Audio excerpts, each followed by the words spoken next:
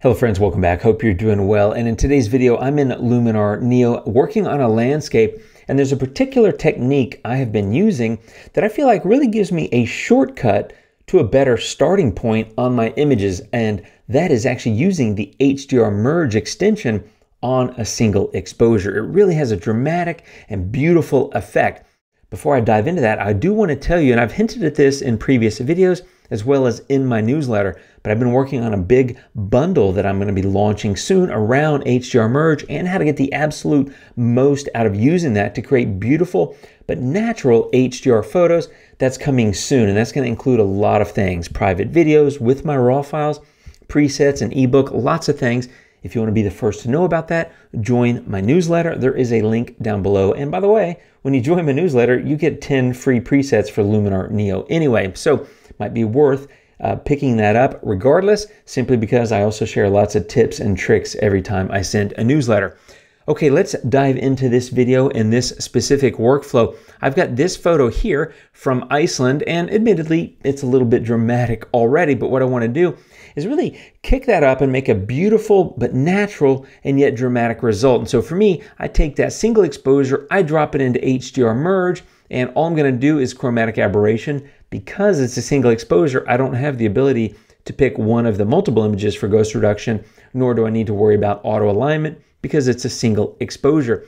But this works on, honestly, every single photo. And I'm going to let that mer merge, if you will, into an HDR. It's essentially tone mapping this single exposure. It's going to drop it into the HDR merge folder and then I'll show you my edits. Okay, here we are. It only took a couple of seconds and I did go ahead and remove the spots. Uh, no point in wasting your time watching me do that. Also slightly straightened it, but that is my image already an improvement. The light's a little bit more balanced. There's a little bit of additional drama in the photo in the right places because the natural results from HDR merge I think look fantastic. So that's my base HDR merge now. And what I want to do is work a little bit around the contrast and the highlights, maybe pull that down a tiny bit, maybe pull up the shadows just a little as well.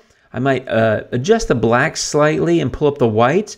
What I don't want to do is get overly uh, over the top, over dramatic. And so a good way to check your highlights and shadows, of course, is to hit the J key and it'll show you in red anything that's blown out. There's nothing here. It'll show you with that blue overlay right down here, and that shows you things that are completely black. A tiny bit of complete black is absolutely fine with me. I'm not worried about it. I'm also going to go into curves and do a slight S curve. So all that's doing is giving a little bit of additional contrast.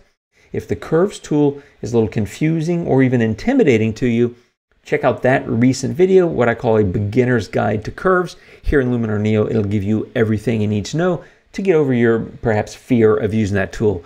I don't mean that as an insult. I was totally afraid of that tool for so long.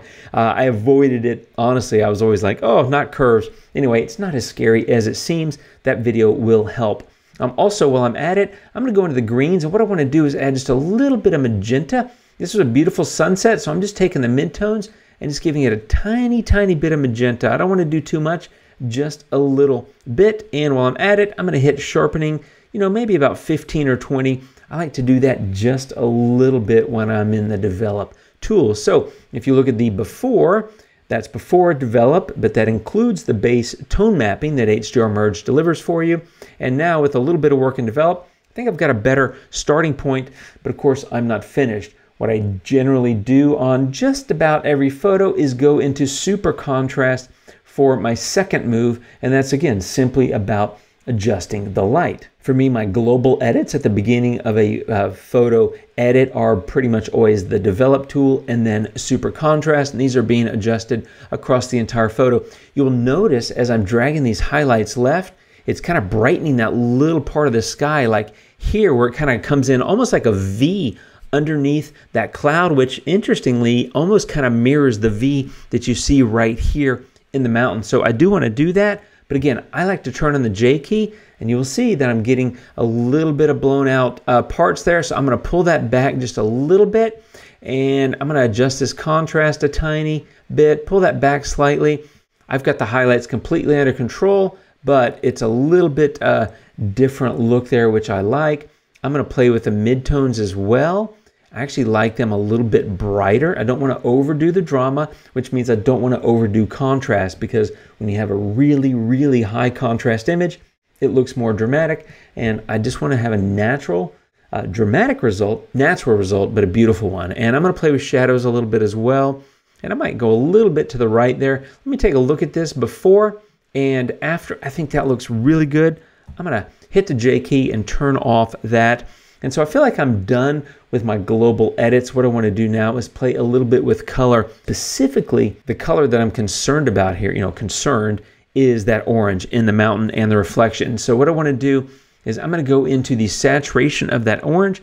I'm going to pull that down just a little bit. And that's one thing that you will notice when you're uh, creating a lot more contrast in a photo is it does make your colors pop. So you might want to come in and adjust things. Uh, the other thing to be aware of is that you don't want to have every color be really intense because then it becomes like a huge kind of visually distracting kind of thing. And so there's already a lot of blue. I've added a tiny bit of magenta kind of in the sunset kind of look in those clouds. I'm pulling back a little bit of that orange just to make sure that it doesn't look over the top. And while I'm at it, I'm also adjusting the hue. And that's because, let me point this out here, specifically on yellow, you'll notice that if you go to the right with the hue on yellows, it's really green. And I don't like green in this kind of photo. And so what I'm going to do is take the hue of the yellow uh, to the left, which is going to make it a bit more orange. As you can see, that's creating a little bit more orange. Whereas if I go this way, it has a little bit more of a green tint and you can actually see the green getting really strong over there. So I'm going to go to the left with the hue on yellow to make sure that it's more orange. And then the orange, I'm going to take the hue a little bit more left to make it a little bit more red. Let's take a look at this color adjustment. There it is before, there it is now. And I think what I need to do is pull that saturation of the yellow down as well, just a little bit, and maybe the orange a little bit more.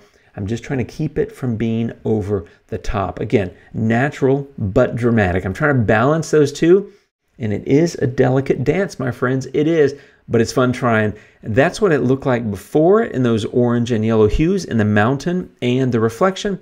That's what it looks like now. That's a lot tamer, and I think that looks better because, again, I don't want to overdo every color. Well, actually, I don't want to overdo any color, but there's so much blue in it and that blue and orange play off of each other really nicely, but I think it makes sense to control those orange and yellow tones in the mountain, and I feel like I've done a good job with that in the color tool. Now, the other thing that's really fun to do on any image, really, and I think doubly so on HDRs, and especially if you're trying to create a little bit of a dramatic photo, and that is Structure AI. And what I want to do is crank this up a little bit. And I want to be careful again, natural, even though I'm going for dramatic. Structure AI, I'm at 26 right now and I love what it does to the surf. I do want to be careful what it does to the clouds. I really like the smoother clouds. This is personal preference. So here's a nice little trick. Basically, what I want to do is get Mask AI, and I'm going to select that sky. And the reason I'm selecting the sky is because I don't want it in the sky. And I know that sounds counterintuitive, but what I want to do is select the sky and it's going to apply that structure adjustment just in the sky. As you'll see here, there it is. But again, I want the reverse of that. So instead of coming in and saying, oh, well, if I collect, uh, select, you know, architecture and water and mountains, maybe it doesn't get everything. I can select the sky and then I come over here to the masking tools and I just click invert. And when I click invert, uh, if I click show now, it basically picks everything except the sky. So you can select the sky and then go to invert and just get everything but the sky. So that's a quick little trick for applying certain tools, whatever tool you may be masking, into areas uh, that are not selected by Structure AI, for example, or excuse me, by Mask AI. So what I've done, a little bit of Structure AI in the the beach, if you will, which includes that reflection, which I want to be crisp, and the mountain. So basically, it's everywhere but the sky. And I think that looks pretty good. And then once you have it in, you can dial in your settings. I mean, if you wanted to go a little bit more dramatic, I think you can get away with that on a scene like this. But I'm, I'm going to stick with like mid 20s. I think I was at about 25 or 26. I'm going to stick with it there. And then the only other thing I really want to do to wrap this up is just come into develop. And here I'm going to get a linear gradient. And I'm just going to drag this right up in here. And all I'm doing is basically grabbing that foreground area and I'm slightly gonna brighten it a little bit. Like I said, I want dramatic, but I don't want over the top, and I don't want too much contrast uh, in that foreground, so I want it a little bit brighter. And if you look at the before And the after, I've achieved that. In fact, that's probably a little too much. I'm going to pull that back a little bit, maybe about a 15. I think something like that looks pretty nice. One more time, before and after, just a slight brightening. And that's basically dialing in my settings by masking and doing essentially a global, or excuse me, a local adjustment. I talk about that quite a bit in that video if you want to check it out. Let's look at this entire photo one uh, more time. There it is before, spots and all. It was a raw file. I dropped it into HDR Merge, got a really beautiful and I think natural result, uh, which is this. And then with further refinements and adjustments, I think I have a really beautiful but natural looking single exposure HDR. And that's why I said it's a little bit like a, a shortcut to a better start by using single exposures in HDR Merge. And uh, hopefully that gives you some idea of how I'm using this tool to really get beautiful image edits in a short amount of time. Again, check out my newsletter down below. Sign up if you'd like free presets for Luminar Neo. And if you want to be the first to know about my bundle when it's ready, which is coming really soon. That's my image edit for today, my friends. Hope it gave you some insights into what I'll be talking about here in the future and gives you some tips and tricks to use on your own photos. I'll be back really soon talking about more of this stuff. Thanks for watching. Hope you're doing great. Appreciate you guys hanging out for a little bit. I'll see you soon. And until then, adios.